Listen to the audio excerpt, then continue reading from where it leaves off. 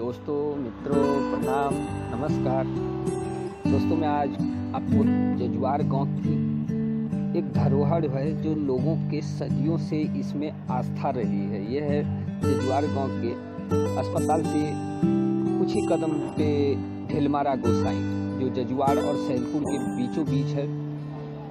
ऐसी मान्यता है कि लोग इस रास्ते से जब गुजरते हैं अपने परिवार के साथ या बच्चों के साथ में तो नज़र उतारने के लिए चार पाँच पत्थर घुमा के इस ढिलमारा गोसाई पे मार दिया जाता है। और ये जो आस्था और मान्यता जो है, वो सदियों से चलती आ रही है। तो इसकी जो है, सो अब मुख्य काम जो समाज का ये है कि इस धरोहर को बचाने की है। ये धरोहर जो है, विलुप्त तो हो रहा है ढिलमारा गोसाई।